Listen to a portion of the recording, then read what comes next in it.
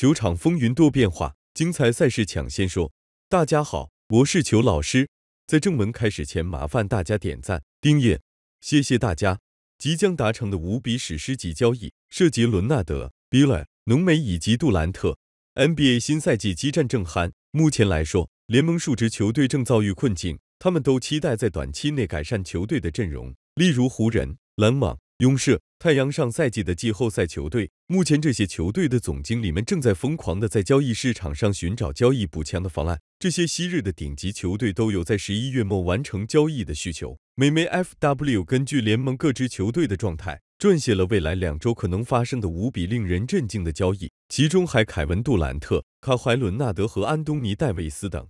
第一笔交易，拉文被送到纽约尼克斯。潜在交易方案：公牛送出拉文，从尼克斯换来 RJ 巴雷特、德里克罗斯、奥比托平两个未来首轮选秀权。尼克斯最近几个赛季都陷入比较挣扎的赛季，目前他们的战绩为八胜七负，排在东部第八。根据 NBA 名记扎拉尼亚的报道，尼克斯有意送走罗斯和奥比托平，升级球队的后场。拉文在今年表现出色，场均数据为二十二点二分、三点八篮板、四点二助攻，三分球命中率为百分之三十八点二。但是公牛目前的战绩并不如意，球队也有意送走他，进行阵容的重组。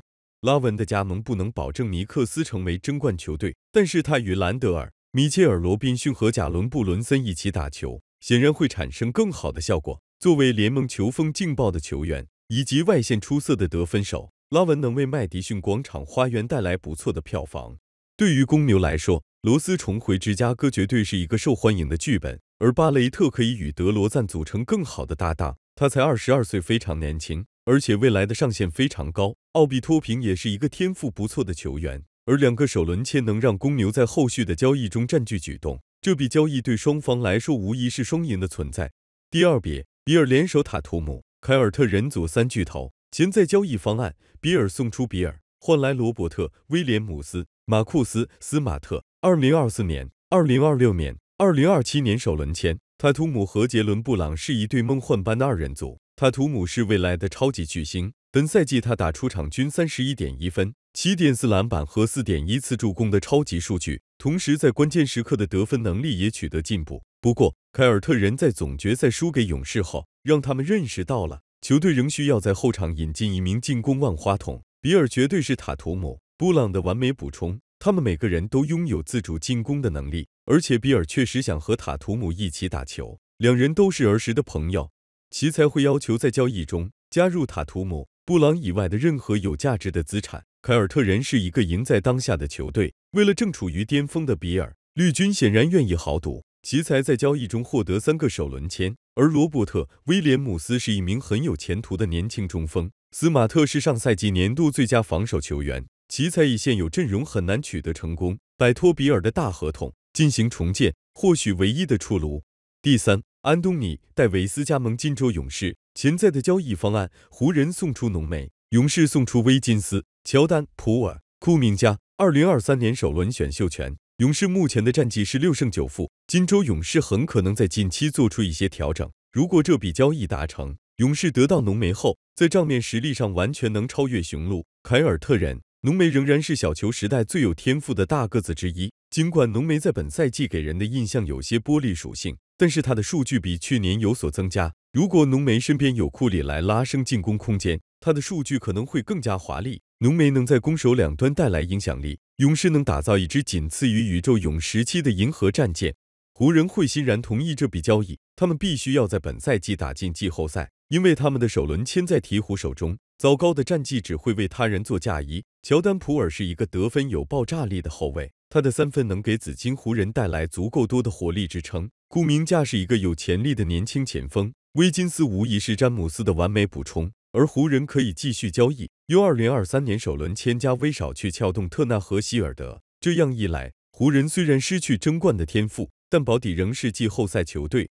第四，伦纳德被交易至迈阿密热火，潜在交易方案：快船送走伦纳德，从热火换来吉米·巴特勒、马克斯·斯特鲁斯，二零二三年、二零二八年首轮签。快船和热火在本赛季都是比较失意的两个球队。伦纳德因伤缺席了太多比赛，本赛季因为隐瞒伤病和管理层闹得并不开心。而热火在本赛季的战绩同样不尽如人意。三年前，热火凭借巴特勒和阿德巴约的组合杀进总决赛。在去年东决中，他们与绿军厮杀至 G 七，最终被击败。但是本赛季，热火并没有打出该有的水准。如果巴特勒和伦纳德互换，绝对是一笔能提升对方实力的交易。快船厌倦了伦纳德的负荷管理，鲍尔默拿他换来一个成熟的全明星球员以及两个首轮签，可以为快船带来更多的韧性。热火押宝伦纳德能恢复健康，一旦伦纳德健康回归，他显然是一个更具统治力的球员。这意味着迈阿密离冠军更进一步。杜兰特被交易至菲尼克斯太阳，潜在的交易方案：杜兰特换下德安德烈·艾顿、米卡尔·布里奇斯，二零二四年、二零二六年、二零二七年首轮选秀权。保罗在一天天变老，太阳需要做出改变，为他找来一名全明星作为帮手。杜兰特、克里斯、保罗和德文·布克是三位极具天赋的球员，三巨头组合能带来太阳实现冠军梦。篮网得到了两名年轻的有天赋的球员。他们非常适合围绕本西蒙斯打球，不过篮网不想围绕年轻球员进行重建。本赛季他们依旧有不俗的战斗力。值得注意的是，艾顿至少要到二零二三年一月十五日才能被太阳交易，同时艾顿对任何交易都有否决权。此外，名记霍林格在今天谈到篮网球星杜兰特的交易价值，他表示杜兰特的交易价值会在交易截止日来临前达到巅峰。杜兰特身背长期合同。依旧能打出巅峰数据。本赛季至今，杜兰特的场均数据为三十点六分、六点六篮板、五点二助攻、一点八盖帽。任何得到他的球队都能即插即用。太阳这样的筹码显然难以打动篮网管理层。以上五笔交易，大家认为哪些会在交易截止日前达成呢？内讧升级，克莱愤怒回击，坚持索要顶薪被拒绝。NBA 新赛季的比赛已经进入了白热化。但是上赛季的勇士队却遇到了一个很大的问题，那就是他们的核心球员和球队的内部矛盾。怀斯曼因为在地级比赛中的表现不佳而被送到了发展联盟，而勇士的明星克莱汤普森也没有能够回到巅峰状态，他的状态一直很差。汤普森在新赛季出场十一次，平均每场十四点七分、三点四个篮板、二点五个助攻，而克莱的投篮命中率只有百分之三十五点一，三分命中率只有百分之三十三。自从汤普森受伤回来之后，他的攻击力就没有那么强了。在场上，他甚至没有人防守都投不进，而且汤普森的防守已经不像以前那么好了，经常会有防守球员被漏掉。作为勇士的主力，勇士目前的战绩与汤普森的糟糕表现密不可分。但克莱汤普森要求球队再一次提出一个最高薪水的合约，但遭到了拒绝。在今天的比赛中，汤普森首次回答了关于新合同的问题，他仍然认为他应该得到一份最高薪水的合约。汤普森说：“他在上赛季帮助勇士夺得了总冠军，他只是一次伤病，未来会回到以前的水准。”克莱·汤普森表示，他将不会放弃为一份最高薪水的合约而努力，即便是球队开出两年五千万年薪也不会接受，坚持要为最高薪水而努力。对此，你有什么想说的呢？从这场比赛来说，库里和维金斯依然保持稳定输出，其中今天库里改变了策略，他部分时间一直都在代替不在那打。也是为了避免崩盘的出现，最终库里轻轻松松砍下二十四加六加十的数据，整体还是比较顺畅的。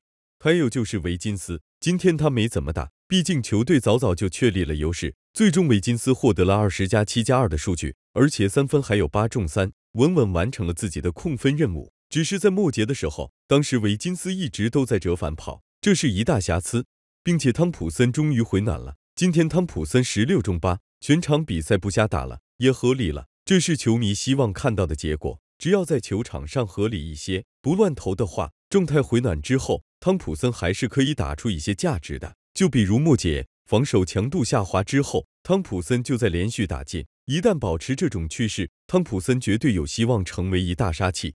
普尔今天十七中五，他的命中率维持了自己低迷的状态，也没有办法。在替补席，普尔一直都在球场上保持犹豫。最终造成的结果就是疯狂打铁，而且进攻端打不开的情况下，防守端普尔的积极性完全没有了。比赛中多次出现被移步过的情况，他再度展现了副作用。但能持续出手是一件好事情，期待他可以在替补席更加坚决吧，找到首发的状态。